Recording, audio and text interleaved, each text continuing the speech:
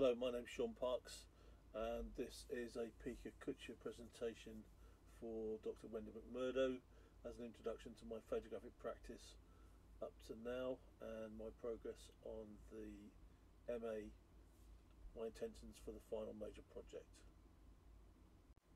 My first two slides are indicative of my background in photography, which was mainly aviation photography, air shows, and uh, generally around RAF airfields due to my Air Force background, my father being a serving Royal Air Force policeman, included a 20 year period working at Paris and Farnborough air shows. I enjoyed taking the camera with me whenever I travelled and experimented with landscapes in colour and black and white. This image is of Killybegs Harbour in Ireland, which is a working fishing port with commercial and leisure uh, marine activities. I started looking for opportunities to take unusual photographs in landscape photography and the current slide shows the walls, the glass walls of the Harpa Concert Hall in Reykjavik Harbour in Iceland and is the reflection of superstructure of Navy vessels in the port of Reykjavik.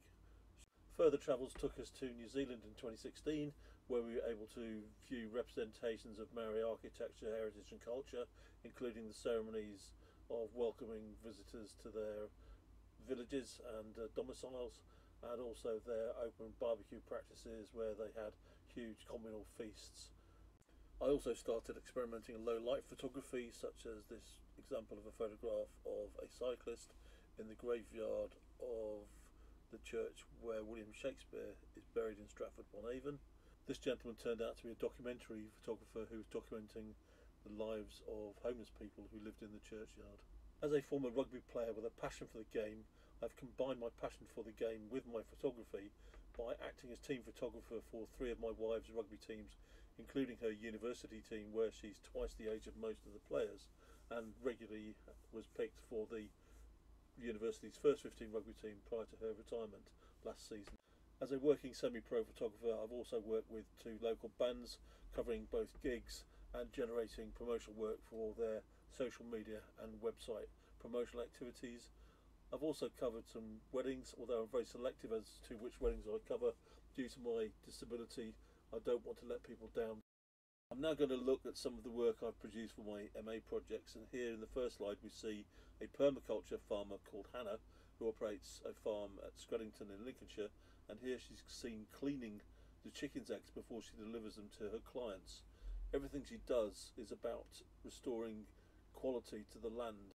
In the module on collaboration and professional locations, I looked at scars on the landscape, and here we see a monochrome photograph of the Lincolnshire countryside, scarred by numerous pylons, telegraph poles, and uh, indeed roads as well. I produced these in black and white to emphasise the starkness of the image. In the module on sustainability, I decided to shoot the project whilst we were on a family holiday in Ireland.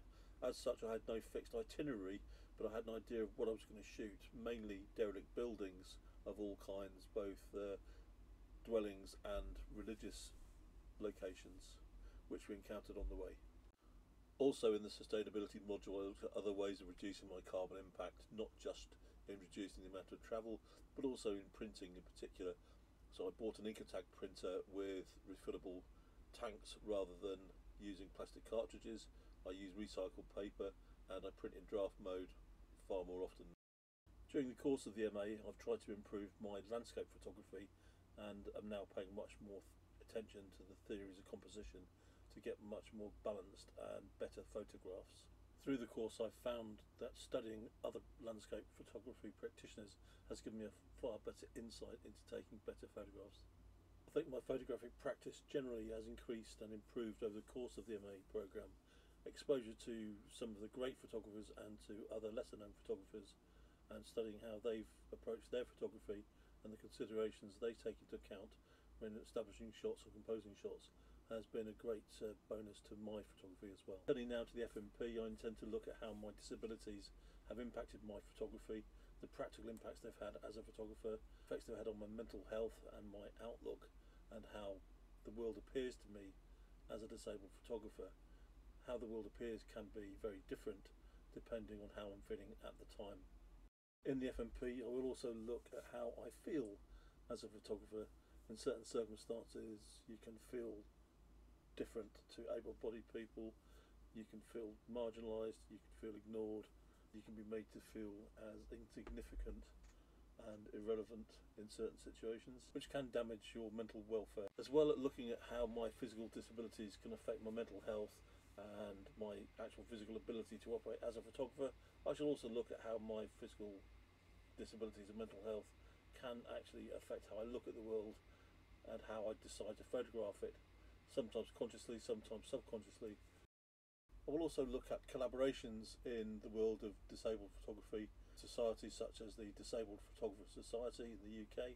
I will look at collaborations, I will look at where people have adapted equipment to overcome physical problems, for example, photographing from a wheelchair, not being able to use a tripod. I will also take a look at other disabled photographers and their practice, how their disabilities have influenced their work and how they've chosen to depict their disabilities within their work, see what influences they've had and how they've adapted those influences to colour, literally some cases, their photography.